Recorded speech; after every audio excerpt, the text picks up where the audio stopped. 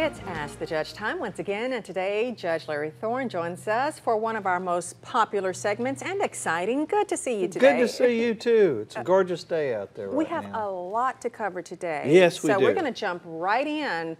The first question for one of our viewers I accidentally swiped a parked car but didn't realize it. What should I do now? This is going to be, I'm going to turn this around. This is the judge asking them question. One, how did you not know that you ran into another car?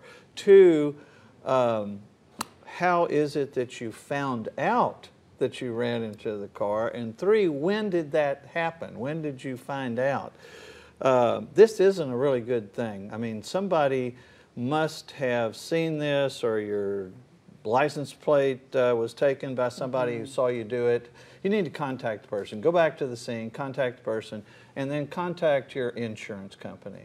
And uh, have your insurance company deal with this uh, because you do not want to get a hit and run type uh, ticket, uh, which could be worse than Right. Some good advice in the days of cell phones too, with Yes. lots of people Well, taking videos. pictures, Might be a, just to go back to the scene first and Absolutely. maybe ask a few questions there. Absolutely. Okay, well, our second question, I canceled my gym membership a long time ago. The gym just sent me a bill for $200 for not paying. I'll call them and they seem to have lost my cancellation papers. What can I do? This is a difficult situation, uh, but it should be, a, again, so much of what we talk about are contractual matters. And normally uh, on these uh, memberships, you sign a contract. In the contract, it should state the ways that uh, you can cancel or they can cancel you. And so if you can't prove that you follow the contract and you uh, submitted some kind of cancellation form, if it was a month-to-month uh, deal, contract, then you may get stuck with $200. Uh, it may end up uh, in a small claims court. So they may end up suing you if you just say, look, I did it, I know I did it, look, I can, uh, called you on the phone, I can trace And that And you may back. have maybe a credit card receipt or a banking Sure. statement, but it's always good to make make yourself a copy. Copy, right, right. But they're going to have to prove that uh, they did cancel it or they may be stuck.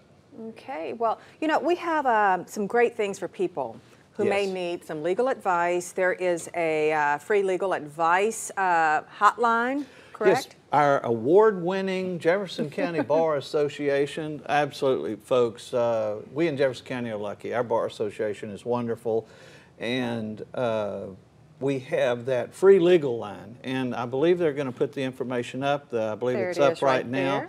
Take advantage of it, folks. Take advantage of it. You don't have to wait for me. You can call these. Don't wait for folks. Wednesday for Yeah, this don't wait for Wednesday. huh? Call these folks and take advantage of it. It's a wonderful program. Bonnie Dean is head of the bar, and she's a wonderful uh, person, and, and make sure that this goes off without a hitch and gets the great lawyers. So do it. Call.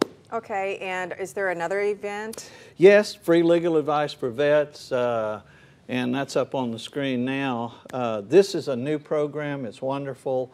I hope the vets uh, take advantage of it. Uh, Right. I know that there's many vets that are having problems that uh, don't have funds, have uh, psychological problems, medical problems, everything under the sun. Call this number. Try to make an appointment. And we will have this all posted on our website. Thank you Very so much. Judge, Thank for joining you. us. And if you have any questions for our Ask the Judge segment, send them to 12newsnow.com. We'll be right back.